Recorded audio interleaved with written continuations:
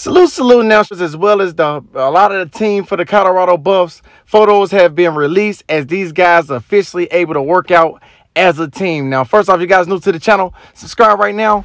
I appreciate everybody's been subscribing as the channel is continuing to grow. I'm gonna give you guys a little bit of time to hit the like button if you haven't already, but most importantly, please turn on the post notification if you haven't already so you guys can get all the latest content as it becomes available. Now, uh, Shilo Sanders, as well as a lot of these guys from the Colorado Buff, is officially able to work out. You're seeing guys doing long jumps. These guys is, you know, doing different drills and workouts as the new Buff team is, is officially underway and these guys is getting ready to try to chase their dreams of being great turn that ball club around from a 1 and 11 ball club to a, a program that can now be respected uh, similar to their old Colorado roots of competing for national championship games. Now, outside of that, you guys see all these different photos that's being revealed.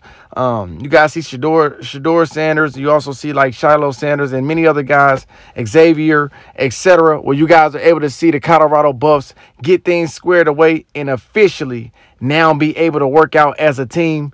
And uh, like I said, now is you know the, the fun really begins, the hard work, the dedication, everything these guys set out to be. They can start preparing themselves to be great.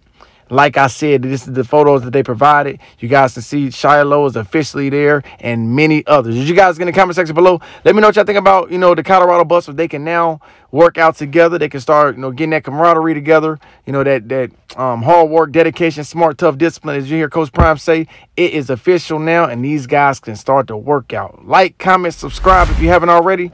Uh, like I said, hit the like button if you guys haven't. Please turn on the post notification. I'm going to read you guys' comments in the comment section below. You guys let me know what y'all think about the footage here. As you guys can see now, the Colorado Buffs is officially getting to work. Thank you so much.